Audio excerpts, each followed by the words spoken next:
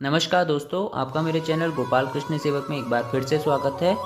दोस्तों, हरिद्वार में आज काफ़ी तेज़ बारिश हुई थी सुबह और रात को भी यहाँ पे बहुत तेज़ बारिश हुई थी। मैं आपको दिखा रहा हूँ, आप देख सकते हैं कि ताज़ा दृश्य हैं ये अभी हरिद्वार हर की पौड़ी के जो माँ गंगा जी का जल स्तर है, घाटों पे वो काफ़ी बढ़ गया है। अभी मैं आपको घाटों पे लेके चलूँगा और दिखाऊँगा कि बारिश के बाद कैसे वहाँ पे जो जल स्तर है माँ गंगा जी का वो बढ़ चुका है। और साथ ही आज के अपनी इस वीडियो में मैं आपको हरिद्वार और चारधाम यात्रा से रिलेटेड जो गाइडलाइंस है, उसके बारे में भी बताऊँगा कि कोई चेंज हुआ है या नहीं हुआ है। और साथ ही आपको ताज़ा दृश्यों के दर्शन कराऊँगा। जैसा कि आप देख सकते हैं कि घाटों पे जो श्रद्धालुओं की काफ़ी भीड़ है और यहाँ से आप देख सकते हैं कितना सुंदर नज़ारा है माँ गंगा जी का और शिव मूर्ति और माँ गंगा जी की मूर्ति बहुत ही सुंदर लग रही है यहाँ से आप देख सकते हैं। और बहुत ही अच्छा मौसम है। आज सुबह यहाँ पे बहुत तेज़ बारिश हुई थी और अभी आप देख सकते हैं कि काफ़ी श्रद्धालुओं की भीड़ है अभी भी यहाँ पे। और अभी मैं आपको और घाटों के भी दर्शन कराऊँगा। जैसा दोस्तों आप देख सकते हैं, ये सुभाष घाट के दृश्य हैं। आप देख सकते हैं, यहाँ पे भी जो जो श्रद्धालुओं की भीड़ है, वो काफ़ी भीड़ है यहाँ पे।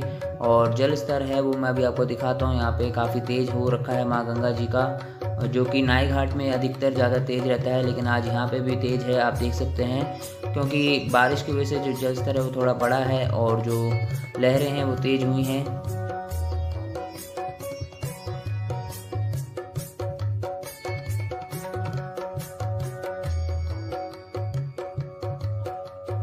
ये देखिए दोस्तों, कितनी तेज लह रहे हैं माँ गंगा जी की।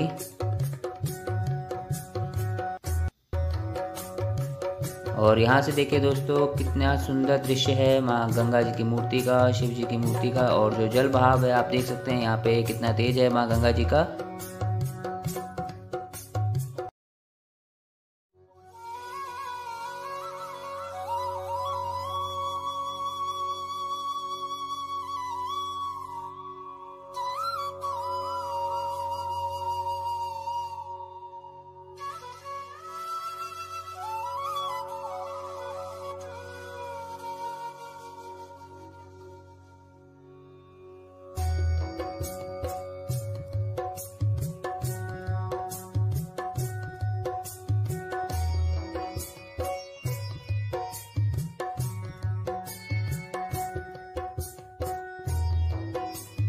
दोस्तों, अगर आप हरिद्वार आना चाहते हैं तो अभी हरिद्वार की जो गाइडलाइंस है, उसमें भी फ़िलहाल कोई चेंज नहीं आया है। आपको आरटीपीसीआर की नेगेटिव रिपोर्ट या फिर रैपिड टेस्ट की नेगेटिव रिपोर्ट चाहिए होगी बहत्तर घंटे से पहले की।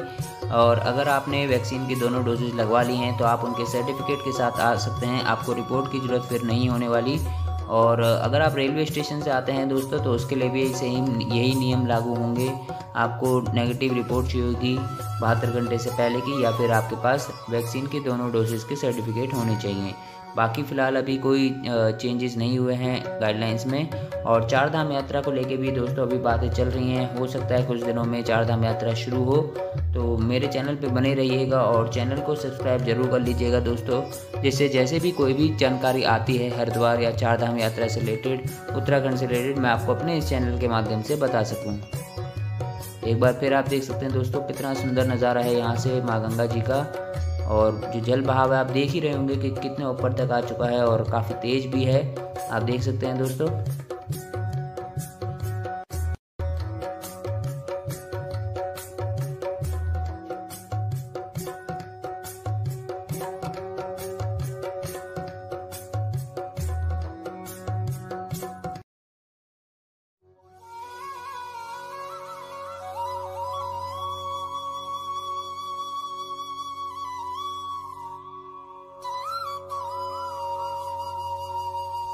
तो दोस्तों, आज की मेरी वीडियो यहीं तक थी। आशा करता हूँ आपको वीडियो पसंद आई हो। अगर आई है तो वीडियो को लाइक करिएगा और चैनल को सब्सक्राइब करके बेल आइकन पर क्लिक ज़रूर कीजिएगा, जिससे मैं इसी प्रकार की जानकारी आपके लिए आगे भी लाता रहूँ। हर हर गंगे, हर हर महादेव दोस्तों।